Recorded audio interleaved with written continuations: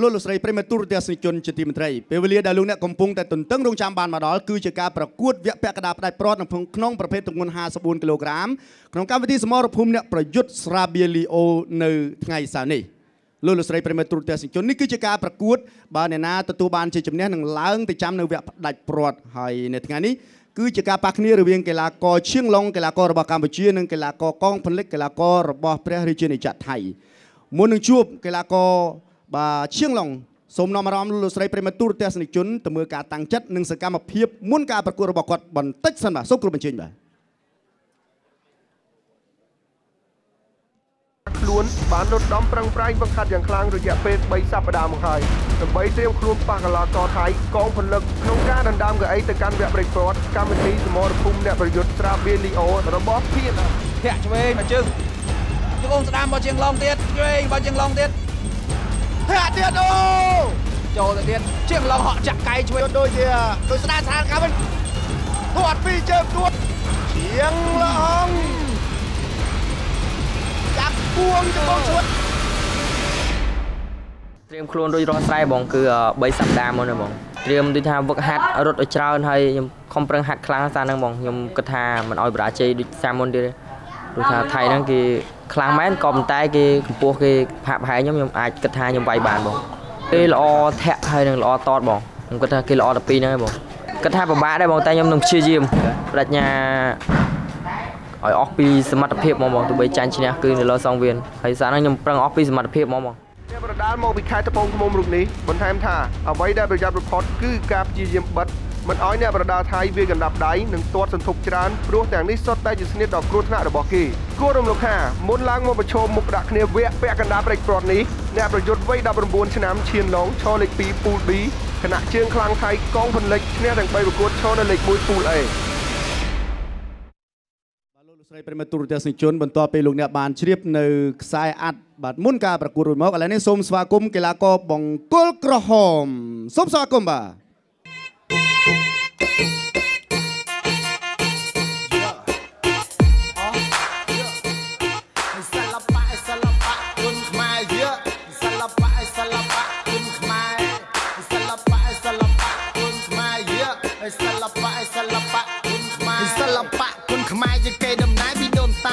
ប្រវត្តិដ៏យូរលង់មានប្រវត្តិដ៏អស្ចារ្យសិល្បៈក្បាច់គុណដែលល្បីក្នុងលោកកាប្រទេសជាច្រើននៅក្នុងលោកតែតែពោលទៅសើថាយក្បា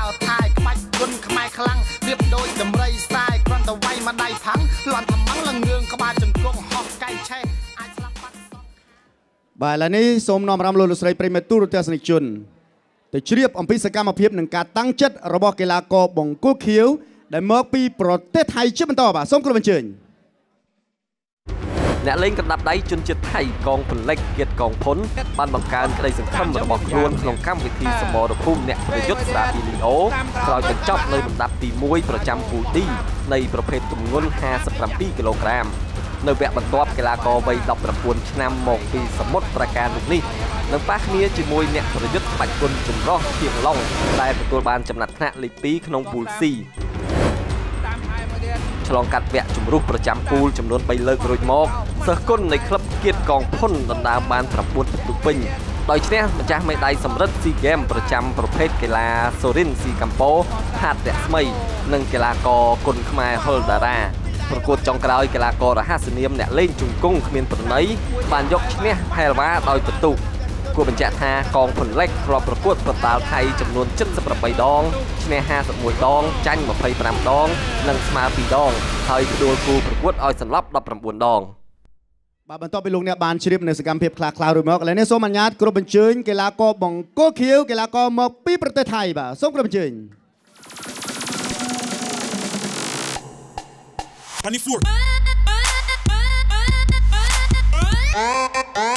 24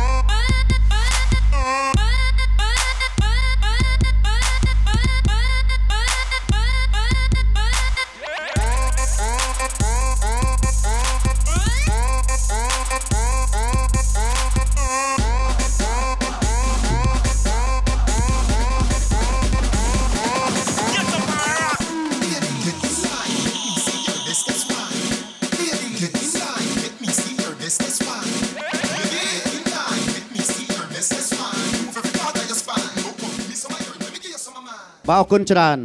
លោកលោកស្រីប្រិមត្តទូរទស្សនិកជនសម្រាប់អ្នកឈ្នះគូនេះនឹងប៉ះកីឡាករសែនរ៉ាឌីនៅវគ្គផ្ដាច់ព្រាត់ដិតត្បិតថាពួកគេទាំងពីរនាក់សុទ្ធតែជាកីឡាករនៅក្នុងប្រភេទទម្ងន់57គីឡូក្រាមជាដំបូងខ្ញុំបាទសូមអនុញ្ញាតណែនាំឲ្យលោកលោកស្រីប្រិមត្តទូរទស្សនិកជនបានស្គាល់កីឡាករបង្គោលក្រហមស្លៀកខោពណ៌ក្រហមអាយុ19ឆ្នាំកម្ពស់1.65ម៉ែត្រទម្ងន់57គីឡូក្រាម ធ្លាប់ប្រកួត MMA ចំនួន5ដងឈ្នះ3ដងចាញ់2ដងវាយអាគូប្រកួតសន្លប់3ដងធ្លាប់ប្រកួតគុនខ្មែរបាន34ដងឈ្នះ3ដងចាញ់3ដងស្មើ1ដងនិងវាយគូប្រកួតឲ្យសន្លប់14ដងប្រកួតចុងក្រោយឈ្នះផានផាត់យុទ្ធដោយបន្ទុមកពីក្លឹបប្រដាល់អេភូថងកីឡាស្រុកកំណើតភូមិទី4ឃុំរកាខ្នោស្រុកក្រួយឆ្មាខេត្តត្បូងឃ្មុំ គ្រូបង្ហាត់គឺលោកអេភូថងលោកលោកស្រីនាងកញ្ញា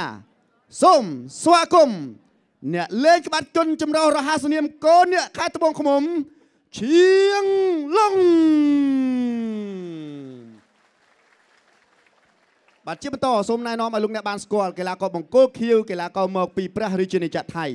ស្លៀកកោពកខៀវអាយុ19ឆ្នាំដូចគ្នាកម្ពស់1.69ម៉ែត្រទម្ងន់57គីឡូក្រាមធ្លាប់ប្រកួតប្រដាល់ថៃនេះចំនួន78ដងឈ្នះ51ដងចាញ់25ដងស្មើ2ដងវាយឲ្យគូប្រកួតសន្លប់19ដង ប្រកួតចុងក្រោយឈ្នះកីឡាករ Helva ដោយពិន្ទុមកពីក្លឹបប្រដាល់គៀតកងភុនស្រុកកំណើតសមុទ្រប្រការព្រះរាជាណាចក្រថៃ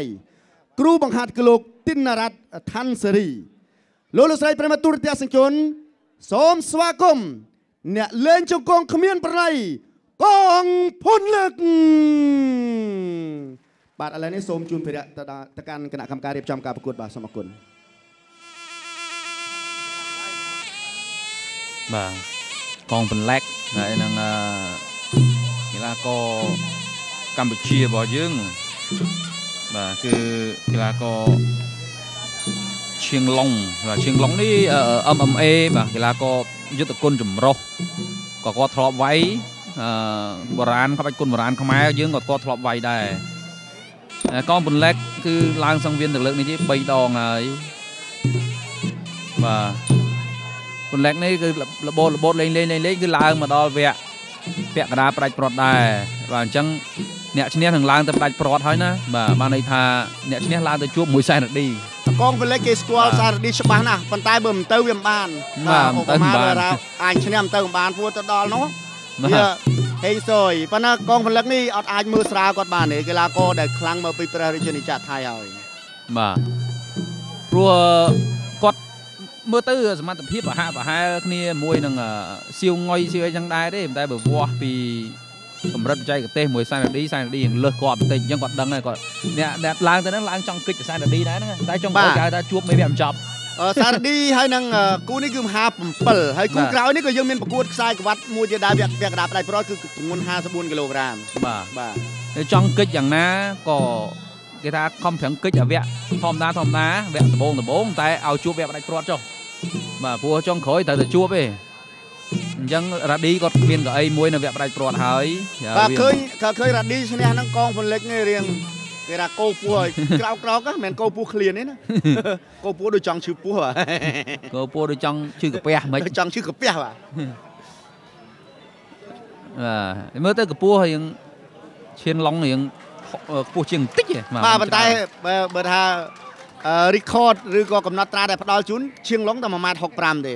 បាទកងពលិក1.69ម៉ែត្រប៉ុនមើលមែនតើប៉ុនគ្នាដែរ65ហើយតាំងពីឆ្នាំមុនទេតែមើលឧទាហរណ៍នៅប៉ាសពូឈៀងឡុងថ្ងៃនេះគឺអត់បណៃទេហើយឈៀងឡុងនេះគេទៅស៊ូមែនតើកីឡាករ MMA រូបនេះបាទត្រៀមត្រៀមត្រៀមត្រៀម បាទឥឡូវមកទស្សនាការប្រកួតនេះគូដើរសែមកវ៉ាត់ពាក់កដាផ្ដាច់ព្រាត់ទី1ទី2ទឹកទី2ទឹកទី1បាទឈ្នះទៅផ្ដាច់ព្រាត់ឈៀងឡុងការឡើងសង្វៀនរបស់គាត់កន្លងមកខ្ញុំបាទសង្កេតឃើញថាគាត់វាយរៀងចិត្តលួសបាទកីឡាករនេះបាទភាគច្រើនគាត់បដូរមិនអោយគេមើលមើលគេហៅកីឡាករហ៊ានណាបាទហ៊ានក្មេងក្មេងហើយចិត្តក្លាហានបាទ បាទមិនមិនមិនអោយគូបដិបកគាត់មើលស្រាលទេភាគច្រើនតែឡើងសង្វៀនហើយគាត់ក្តាប់មុខក្តាប់មាត់ឈ្នះចាញ់មិនដឹងទេចង់បានអញ្ចឹងនិយាយតាមពិតខ្លាំងទៅចង់បានអញ្ចឹងឈៀងឡុងតាំងពីវាយហើយដឹងថាខ្លួនឯងវាយពាក់ដាបឯគ្រាន់នេះគឺថា3អាទិត្យអត់មានតាណាទេគិតតែហាត់យកទេហ្មងបាទបាទតាំងចិត្តខ្ពស់កន្លះក៏ជើងអឺឈិនឡុងនេះបាទអាធ្វើកបីអីរៀលអីផុកភក់អស់បាទចុះហោះចូលទៅបាទមានបញ្ហាអី ដឹងតែគេខ្លាំងក៏ឡើងដាក់អស់មកត្មឹងហ្មងអាសំខាន់គេហៅថាស្មារតីស្មារតីប្រយុទ្ធអាស្មារតីប្រយុទ្ធហ្នឹងសំខាន់សម្រាប់កីឡាករមែនតើបាទអាហ្នឹងគឺអាចធ្វើឲ្យគូប្រកួតរបស់យើងគាត់ស្លុតទឹកចិត្តអស់30%ដែរតែបើយើងឡើងទៅញោមញោមហើយរៀងយ៉ាប់តិចហើយបោះឆ្វេងមួយណែគេណែជាងឡងអូនអូនឲ្យបងមកឲ្យអូនវិញបាទបាទ តែកងប្រឡែងនេះកន្លងមកគាត់វាយឆ្លាតវាយដកថយវាយដកថយគាត់ចាំស៊ីបន្ទុកបាទកងប្រឡែងយើងអឺមិញឈើយើងខ្លីជាងបន្តិចឯងបាទប៉ុន្តែជើងគាត់បោះទៅបានវែងវែងដែរធាក់ឆ្វេងជើងឡុងរងចេញឆ្វេងវិញដែរអាជើងឡុងទៅអាយុ19ឆ្នាំហើយកងប្រឡែងក៏អាយុបាទកង ពីប្រឡែនេះគាត់ខុសតែខែទេខុសតែខែទេបាទ10ឆ្នាំដូចគ្នាងើយចេញឆ្វេងគង់ឆ្វេងរបស់ជាងឡុងអូបាទបាទឈៀងឡុងធ្វើឲ្យប្រិមត្តទូរទស្សនិកជននៅទីនេះផ្ទាល់អត់អស់សង្ឃឹមទេតែថ្ងៃនេះបើទោះបីជាចាញ់ណាក៏លួចខ្សែប្រាប់ខ្ញុំហ៎បងទោះបីជាខ្ញុំចាញ់ប៉ុន្តែខ្ញុំមិនមិនគិតថាខ្លួនឯងចាញ់ទេទោះបីជាចាញ់ក៏ខ្ញុំប្រឹងឲ្យអស់សមត្ថភាពដែរ ហើយដល់ពេលអញ្ចឹងមានផលតបស្នងដែរបងសៃនៅហាងត្រូពិចបឹងតបាយជូនឈៀងឡុង20ដុល្លារបងសៃបាទបាទបងសៃជូនពីរនាក់ហ្មងបាទជូនពីរនាក់នៅពីរនាក់ទៀតអត់ព្រមជូនបាទអូយចេញឆ្វេងមួយទៀតរបស់អាជាងឡុងបាទតំទឹកមួយទេឆ្វេងថែមបាទជាងឡុងស៊ូគាត់ក៏ល្អដែរ បាទវាច្រើនគាត់វាយពេញពេញទឹកហ្នឹងឃើញថាឡើងដល់ទឹក4ទឹក5គាត់នៅមានស៊ូនៅឡើយធាក់ស្ដាមថែមរបស់ជាងឡុងមួយជើងសិនបាទអាអាអានេះហើយគេហៅថាបាត់ពិសោធន៍ណាលោកអឺសុកយ៉ារធីបាទតាំងពីប្រកួតម៉ាត់ទី1ម៉ាត់ទី2ម៉ាត់ទី3គឺធម្មតាធម្មតាឈឹងឡុងមិនថាបង្ហាញសមត្ថភាពធម្មតាប៉ុន្តែថ្ងៃនេះប៉ះជាមួយនឹងកីឡាករកងពលិតកីឡាករខ្លាំងគាត់វាយរបៀបខ្លាំងហ្មងបាទតែមើលទៅក៏រៀងប្រយ័ត្នប្រយែងខ្ពស់ដែរគាត់មិនសូវជាចប់ទឹកទី1ទី1 បាទលោកលោកស្រីប្រិមត្តទូរទស្សនិកជនជាទីមេត្រីអឺនេះគឺជារូបភាពយឺតយឺតកាលពីទឹកទី1ជើងឆ្វេងរបស់ឈឹងឡុងហើយត្រឡប់មកវិញដល់កងពលិតជើងស្ដាំបើឈឹងឡុងអឺហក់ទៅកន្លែងនេះតែអត់មានទាន់ត្រូវអីទេនិយាយអត់ទៅមិនទាន់ត្រូវអីឲ្យអាយ៉ាចកងមួយចូលតាចូលចូលបើឈៀងឡុងបានតែចូលរៀងថ្នមស្នេហ៍ដែរបាទហើយកម្មវិធីយើងដំណើរការទៅបានគឺសមរភូមិអ្នកប្រយុទ្ធស្រាបៀលីអូនេះគឺយើងបានការបឋមដាច់មុខពីស្រាបៀលីអូស្រាបៀលីអូត្រូវមាត់ត្រូវចិត្តបើលោកអ្នកទទួលទានគ្រឿងសង្វឹងសូមកុំបើកបរបាទអ្នកឲ្យទឹកចេញក្រៅបាទគូទី3ដែលជាគូខ្សែក្រវ៉ាត់ពាក់ពាក់កណ្ដាលផ្ដាច់ព្រាត់ទឹកទី2ឈានចូលដល់ការប្រកួតទឹកទី2រវាងឈៀងឡុងហើយនឹងកងពន្លែកបាទតំណងល្អមើលបើចូលទឹក2ទឹក1មិញយើងកដៅកដៅក្ដៅអ៊ុនអ៊ុនឥឡូវចូលមកឆ្វេងភ្លាមលើផ្លូវរបស់កងពន្លែកធាក់ឆ្វេងរបស់កងពន្លែកវិញទៅសងទៅឈៀងឡុងយកពោះទឹក ឆ្វេងឆ្វេងកងពន្លែកធាក់ឆ្វេងវិញតែឈៀងឡុងនេះកូនសិស្សរបស់អេវថងណាឆ្វេងមួយទៀតយកឈៀងឡុងក្តាប់មុខធ្វើមុំមកមកជាងឡុងចង់ចូលកែងឆ្វេងមិនតែត្រូវបានកងមលេកធាក់ទល់បោះឆ្វេងឆ្វេងពីរជើងអាយអូយយមកជើងរបស់ឈៀងឡុងងាក្រោយទាំងហ្មងបាទបាទពីរតង់ហើយទាត់ពីរតង់ឆ្វេងសងមួយទៀតរបស់ជាងឡុងធាក់ឆ្វេង បោះកងមលេកបាទសរសើរការទាត់របស់ជាងឡុងធ្ងន់ធ្ងរគួរសមធាក់ឆ្វេងមួយទៀតឆ្វេងថែមស្ដាមសងពេញពីកងមលេកឆ្វេងរបស់ជាងឡុងបាទកងម្លេចនេះមិនមែនជាអ្នកបដាលដែលវាយបដូរទេបាទបើសិនជាមិនចូលគាត់គាត់វាយមួយឲ្យដកថយមួយដកថយរហូតធាក់ឆ្វេងរបស់ឈៀងឡុងបាទ កងពលិតមកអត់ចង់ជួបខ្សែណានេះវាក់ផ្ដាច់ព្រាត់ទេតាមមើលណាកិច្ចរហូតហ្មងកិច្ចរហូតតែណានេះយកមើលមកណាអឺអត់ដូចអត់សូវដូចមើលទៅដូចរៀងដឹងតែប៉ះខ្សែណានេះដូចទុកឲ្យញើតបាទបាទ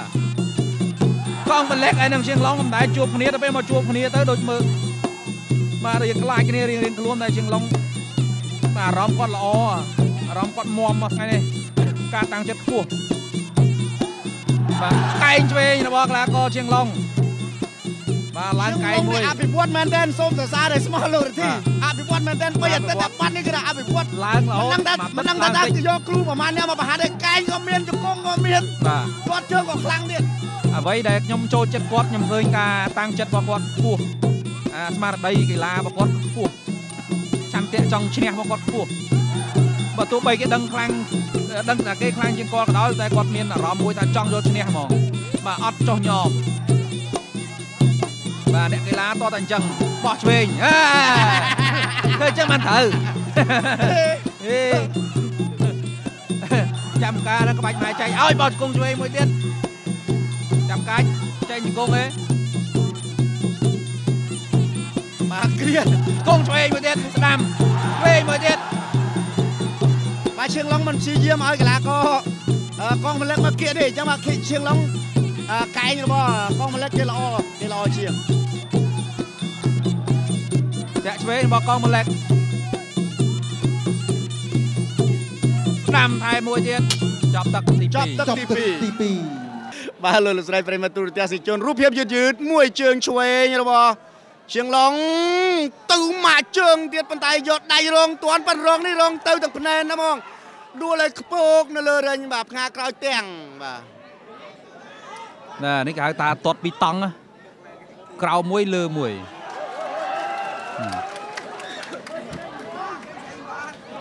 បាទលេខលេខ3ហ្នឹងគឺថាទឹក3ឯងតិចច្រឡំថាអីចុះបាទលេខ3បាទលោកលោកស្រី3ហ្នឹងមិនមែន3អង្ក្រឹមទេណា3អង្ក្រឹម3អាប៉ោងអង្ក្រឹមមកការឿងខ្មែរយើងណាបាទបាទអ្នកឲ្យទឹកចេញក្រៅ បាទអឺ ឈៀងឡុងមានការគូទី3ដល់ជាគូខ្សែផ្ដល់កម្លាំងចិត្តច្រើនមកជាពិសេសបងប្អូនទស្សនាផ្ទាល់នៅសង្វៀន PNN ពីមួយសប្តាហ៍ទៅមួយសប្តាហ៍យើងឥឡូវលេចចង់លេងមានកន្លែងអង្គុយនេះបាទឥឡូវលេងលេងលេងមានឥឡូវកំពុងតែគណៈគ្រប់គ្រងកំពុងរកកន្លែងទៀតហើយដាក់ឲ្យណែនបាទមិនមែនថាយើងអត់មានកន្លែងកន្លែងយើងធំប៉ុន្តែយើងត្រៀមប៉ុណ្ណឹងឥឡូវមកទៀតទេត្រៀមតែ1000នេះឥឡូវមកដល់2000ហើយទៅមកគ្នាមួយមកបាទបាទទស្សនាទៅឆ្វេងបាទឈៀងឡុងវាយប្រយ័ត្នប្រយែងដែរធាក់ស្ដាំថែមួយទៀត ស្ដាំឆ្វេងសងវិញពីឈៀងឡុងបាទកងម្លេចដកថយវិញឆ្វេងក្រោមអត់ដល់កងម្លេចដកថយទៀតផតបាទគេជាផតតិចតិចបោះស្ដាំឆ្វេងសងវិញពីឈៀងឡុង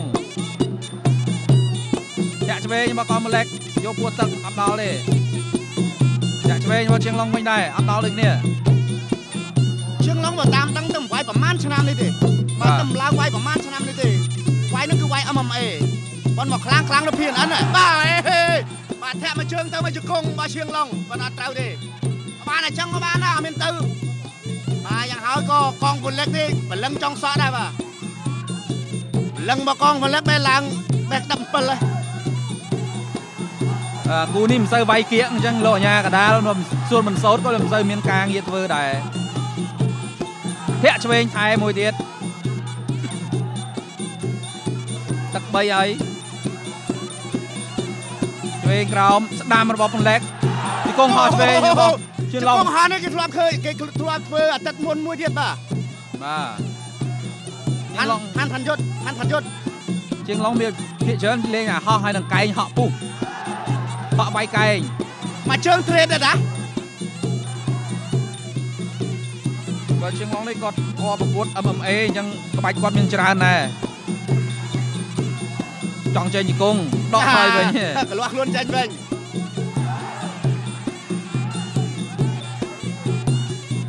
បាទកងមលេកបាទធាក់របស់កីឡាករជើងឡងអូបដូរកដាប់ដៃគ្នាជើងឡងទាត់កងវុនលេខសម្រុកទៅហើយឡើងជង្គង់មួយបាទជើងឡងក៏ទប់មកវិញក្រៀកគ្នាជើងទៅជើងមកហើយយ៉ាយ៉ាយ៉ាយ៉ាយ៉ាយ៉ាយ៉ាអត់អីអូ សម្ដៅក្បាលពោះរបស់អូគេដឹងចំណុចខ្សោយប៉ុន្តែមិនដឹងថាហ្នឹងជាចំណុចខ្សោយមែនទេប៉ិតជួនឃើញតែខ្សោយប៉ុន្តែជើងឡងថាកន្លែងហ្នឹងមិនខ្សោយមែនខ្ញុំដាក់ជង្គង់ស្ដាំមួយបាទមែនបាទអញ្ចឹងអ่ะកងពលិចគេសម្ដៅទៅលើក្បាលពោះរបស់សាអឺជើងឡងទេបានតែពោះទឹកបាទជើងឡងចូលក្រៀកអ่ะក្បែរអត់បានទេជង្គង់មកគេស្រួចមែនទែនកងពលិចបាទ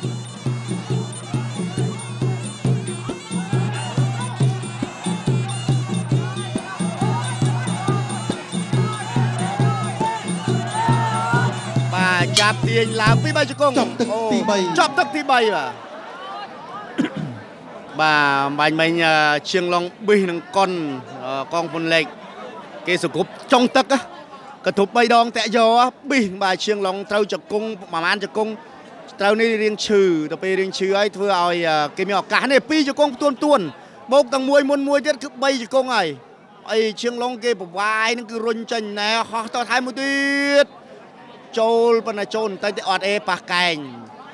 បាទលោកលោកស្រីប្រិមត្តទូរទស្សនិកជនដែលកំពុងតាមដានទេសនានៅឯគេដ្ឋានកុំភ្លេចណាបន្ទាប់ពីចប់កម្មវិធីប្រដាល់ស្មរភូមិអ្នកប្រយុទ្ធស្រាបៀលីអូបន្តិចទៀតទៅហ្នឹងគឺដល់ម៉ោង6ជាងចប់ទៅហ្នឹង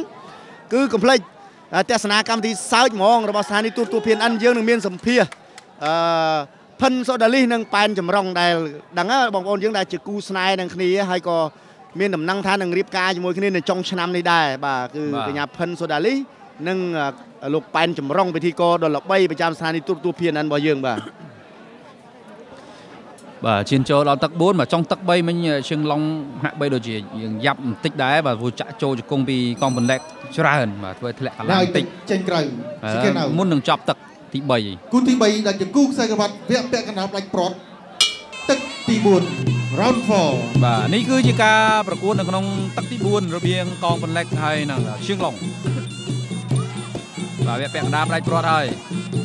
តាមពិតនៅឆ្ងាយកីឡាករឈៀងឡុងមានលទ្ធភាពច្រើនជាងប៉ុន្តែបើចូលគៀកគឺជង្គង់របស់ភុកអឺអឺកងផ្លែកនឹងល្អណាស់បាទបោះឆ្វេងកងបន្លែកចាំមើលចាំមើលអូយឆ្វេងមួយសងចាំមើលឈឹងឡុងចេញគាត់ចេញមួយវិញសងដែរបងផ្លែកនេះសរសើរគាត់ណាអ្នកបដាល់ឲ្យចិត្តធ្ងន់ណាស់មើលទៅគាត់ចិត្តធ្ងន់ណាស់អត់មានឆេះឆាវទេណាអត់មានកញ្ជុលទៀតអត់កជ្រោលទេគាត់វាយមួយមួយមួយមួយបាទចាំមើលដៃគូធ្វើអីបើគាត់ចេញទៅវិញ ឆ្វេងឲ្យបោះស្ដាំមួយទៀតរបស់កងម្លេចតាក់ឆ្វេងថែមបាទជាងឡុកចុងចេញបោះឆ្វេងថែមស្ដាំសងវិញរបស់កងម្លេចកាប់តឡាចអូយកែងបត់ស្ដាំនេះបាទកែងនេះកែងទៅទម្ងន់អឺ57កែងនេះកែង120 120គីឡូ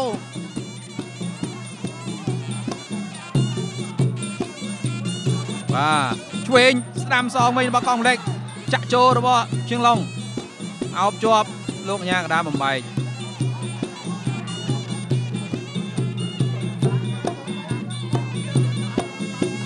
បោះស្ដាំរបស់ជើងឡុងអត់ដល់ទេពន្លែកផតផតតិចតិចនៅញាក់មុខឌឺទៀតចូលតតស្ដាំមួយសចាប់ងដើទៀតមហ่าចាប់ដើមញ៉ាំចៅណាអានេះគេ style របស់គេបាទនេះគឺអាការឌឺដើម្បីដុតអារម្មណ៍ របស់ជើងឡុងម៉ាត់អាស្ដាំជើងឡុងចាប់ផ្ដើមក្តៅលឹកបាទជាតាំងមួយទឹកមួយទីហើយ1ទឹកទី2រៀងធំអន់ឌឺបាទចូលមកដល់ទឹកទី4ធំរៀងឌឺវិញគាត់ដឹងតែគាត់មានដូចថាមានព្រៀបមានព្រៀបមានហើយយើងពងដាំទឹកមកមានព្រៀបចូលឆ្នាំងបាទបងព្រៀបដែរ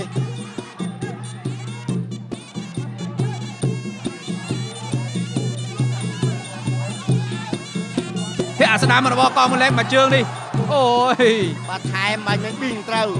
បាទកណាថែមត្រូវគឺកីឡាករថៃកងពលិចងើបបាទរួចដឹងថាជាងឡងចាញ់ហើយបាញ់មិញព្រោះកីឡាករកងពលិចគាត់ដួលហើយបាទជ្រែងឡើងជង្គង់ឆ្វេងរបស់ជាងឡងអូរូជង្គង់វិញបាទបលែងយ៉ាងងាយងាយ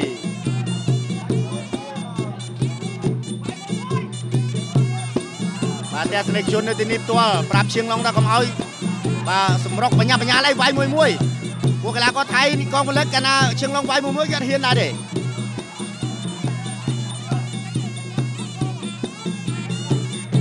បាទទាត់ជើងក្រោមមួយរបស់ជាងឡងអុកជង្គង់របស់កងពលិចច្រែងរុះបាទជង្គង់ឆ្វេងវិញរបស់ជាងឡងជាងឡងកីឡាករបង្គោលក្រហមកីឡាកររបស់ព្រះរាជាណាចក្រកម្ពុជាកីឡាករបង្គោលខៀវកីឡាករកងពលិចមកពីប្រទេសថៃបាទចប់ទី4ទី4 បាទនេះគឺជារូបភាពនៅក្នុងការប្រកួតទឹកទី4ដំបាញ់មិញបាទជើងឡុងគាត់ចេញកែងមួយនេះគឺចេញទៅមកតំហឹងខ្លួនហ្មងបាទចង់មកកែងនេះគឺផ្ដាច់តែម្ដងប៉ុន្តែទោះបីយ៉ាងណាក៏ដោយมันមិនស្រួលទេបាទការចេញកែងហ្នឹង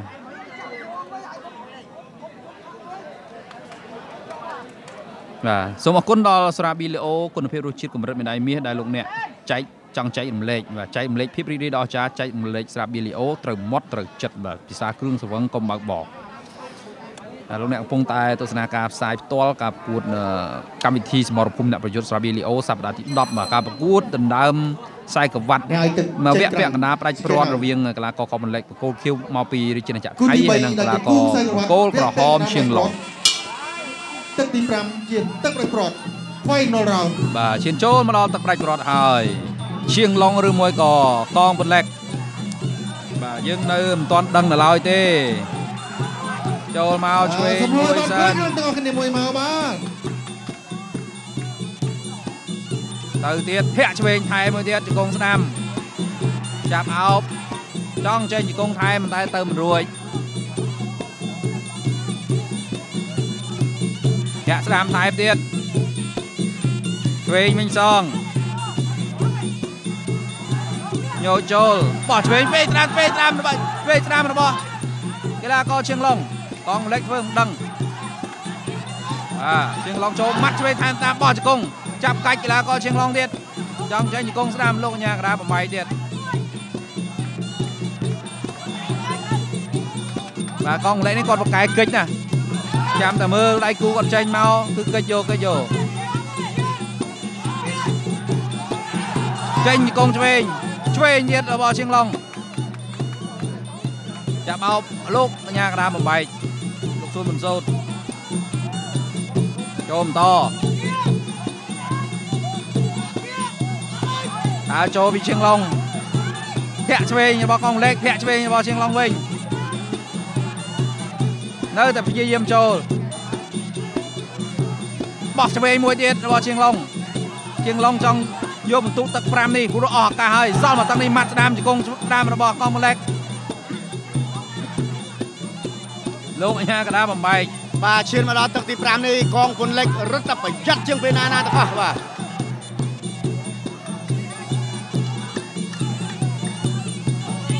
ដល់1នាទីទៀតទឹកទី5ដល់ចង់ចេញឆ្វេងញូចរបស់កមលេក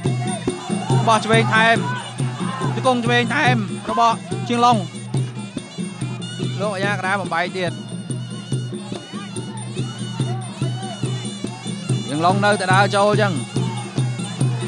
បាទព្រោះដឹងចាញ់បន្ទុកគេទៅឲ្យចូលវាយគេបើចាំគេឲ្យចូលគេមិនចូលទេអរេគាត់ដឹងគាត់ដឹងថាគាត់ចាញ់បន្ទូបាទអាចតែអញ្ចឹងបាទគាត់បន្ទូគាត់គាត់ប្រកាសគាត់ដឹងថាចាញ់ទេជំនះទេ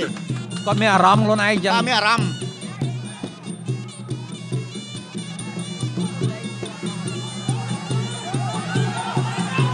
គង់ឆ្វេងជង្គង់ស្ដាំទៀតកាច់កីឡាករជើងឡុងផ្ដួល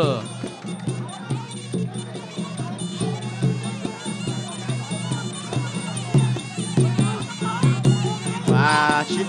ដល់ម៉ោងហើយបាទចូលទៀតជាងឡងបាទឡើងជង្គង់ស្ដាំចាប់គ្រាកជាប់ដល់កងពុនលេខបាទឈ្នះបន្ទូគ្នាបន្តិចតួចឯងមើលទៅគូនេះមិនទៅណាទៀតទេនៅតែភៀនអិនហ្នឹងហើយចប់ការប្រកួតចប់ទឹកទី5 បាទបន្តិចទៀតលោកអ្នកនឹងជ្រាបអំពីលទ្ធផលអីយ៉ាឈៀងឡុងអឺអឺកងពន្លិចគេចង់ប្រាប់ថាកម្លាំងគេនៅពេញប៉ុន្តែអត់អីទេសំកម្លាំងពេលឥឡូវឲ្យហើយបើថាកងពន្លិចបាទកងពន្លិចឈ្នះមែនគឺចាំចាំជួបសែនរ៉ាឌីបាទឈៀងឡុងដូចគ្នាដែរអីយ៉ាវងចង់30ហើយអត់ទាន់អស់កម្លាំងបងអូខេ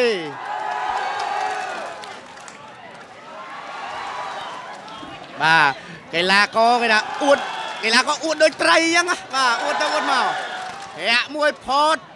បាទឈៀងឡុងចាប់កាច់វិញដួលទៅឲ្យថែមរកថែមប៉ុន្តែថែមខុសបាទថែមត្រូវសើមានរឿងទៀតបាទសើចង់ឈ្នះរៀងខ្លួនហើយចាំមានពីណាចង់ចាញ់ឲ្យឡើងមកលើសង្វៀននេះ